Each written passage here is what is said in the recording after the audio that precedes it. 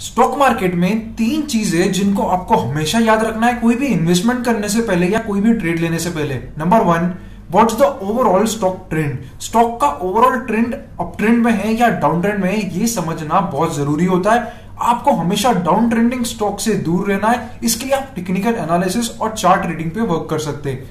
Number two what's the stop loss आपको stock market में हमेशा एक रिस्क फ़र्स्ट अप्रोच लेके चलना है। आपको ये पता होना बहुत ज़रूरी है that what is the amount of risk that you are actually taking into the stock so you need to define the risk into rupees number three what's the exit plan stock को खरीदना बहुत simple है button दबाने से directly आप खरीद सकते हैं but when it comes to selling it needs a plan it needs a strategy it needs triggers जो कि जब भी ट्रिगर होंगे, आपको एग्जिट करना होगा। तो एग्जिट रूल्स थर्ड चीज़ है जो आपको हमेशा कोई भी ट्रेड लेने के पहले इन्वेस्टमेंट लेने के पहले दिमाग में होनी चाहिए।